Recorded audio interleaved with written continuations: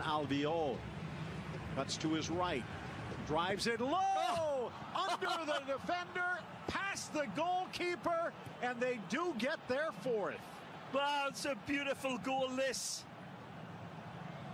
Pretty, pretty goal. Should be on the back of a truck's mud flap. Very, very nice.